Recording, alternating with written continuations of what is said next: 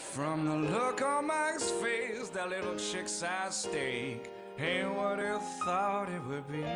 So Mike, give you one more, get a set times four. Yeah, it's four times the steak, four times the thick cuts of juicy marinated succulent steak. We all say wow as a whole honking cow. What is it, Mike? Quad steak? It's four times